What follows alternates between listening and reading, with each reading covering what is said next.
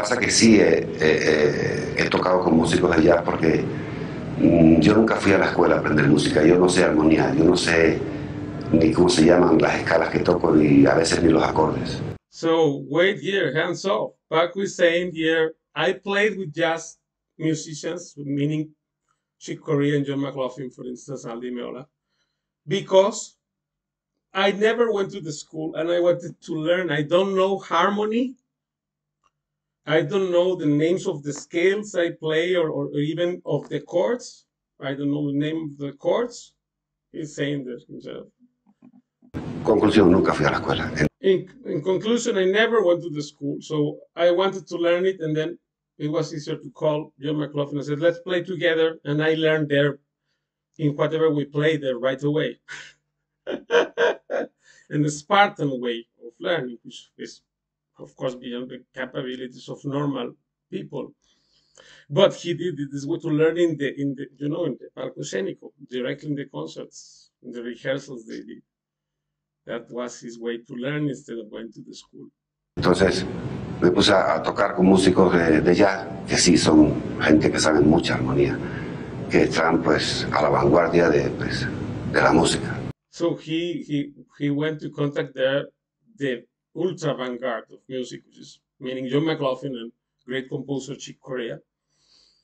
Uh, that's that's how he changed and reinvented also the flamenco thing without not mixing both, but keeping the flamenco pillars sustaining the columns, sustaining the whole building of the compositional outcome he created. Through his discography, you can see this very clearly. Y por ahí aprendí mucho más. Y pues yo tengo mi propio mi propia manera de compartir. So I, I that's how I learn it. So if we learn from them, if Paco did learn, imagine what you can learn. But you have to want to learn it, right? So therefore, that's why he played with jazz musicians because with the intention of exploring and learning how they could improvise.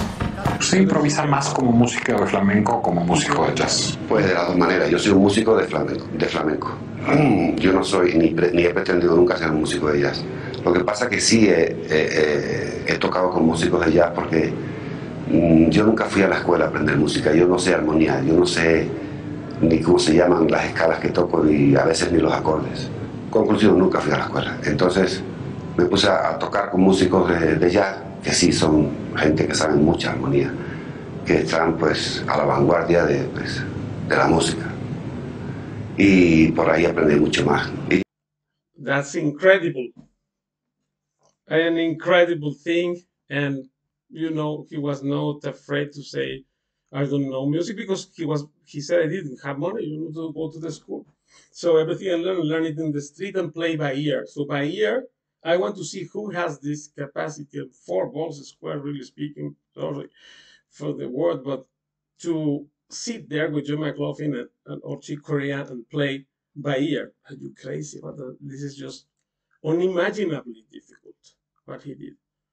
But he has to enter their realm first of, of improvisation in the jazzistic concept, and then combine that, and then just include it as a part of the modern language of flamenco guitar, which, by the way, nobody is, nobody is following because they keep going to common places, as he said before. But now he will explain other extraordinary aspects that we will continue also analyzing next time. Thanks.